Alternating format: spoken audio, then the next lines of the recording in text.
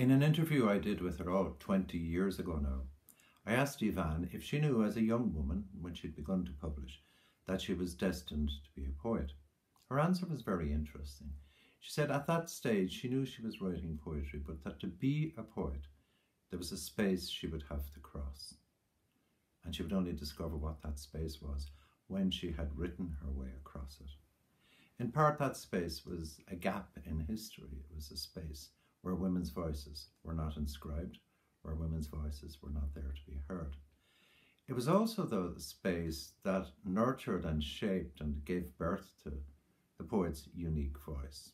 Because if there's any one thing you can say about a poet of achievement, then it is that she speaks or he speaks in their own voice. And a voice is not something given, a voice is something discovered. When she began to write, when she became a poet, she understood that she had also accepted certain responsibilities. Responsibility for language, for the language she would use, responsibility to language, because we all write out of a tradition. But she was writing from a defective tradition, a defective history. She needed to remember lives not her own in her own voice. And I think that's one of the things that gives her poetry a particular heft and savour, that rigorousness.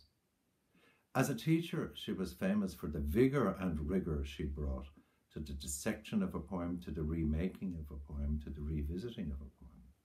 And her work will bear that scrutiny. It will bear it easily, lightly even, because she was a superb worker in the craft.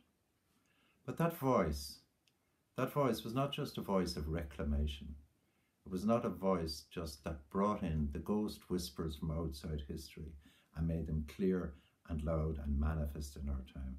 It was also a voice that gave itself to love, to love poetry of a very particular kind, especially poetry of the love of a mother for her daughters and later for her grandchildren, and her love for her husband.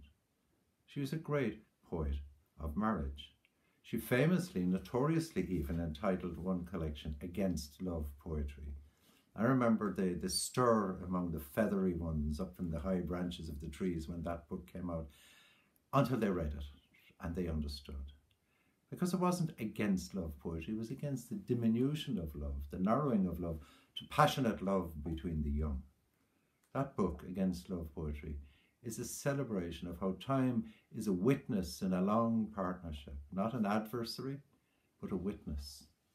And she encapsulates it beautifully in one of my all time favourite poems of hers, Once. We need glasses at a certain age. Once. The lovers in an Irish story never had good fortune. They fled the king's anger, they lay on the forest floor, they kissed at the edge of death. Did you know our suburb was a forest? Our roof was a home for thrushes, our front door was a wild shadow of spruce.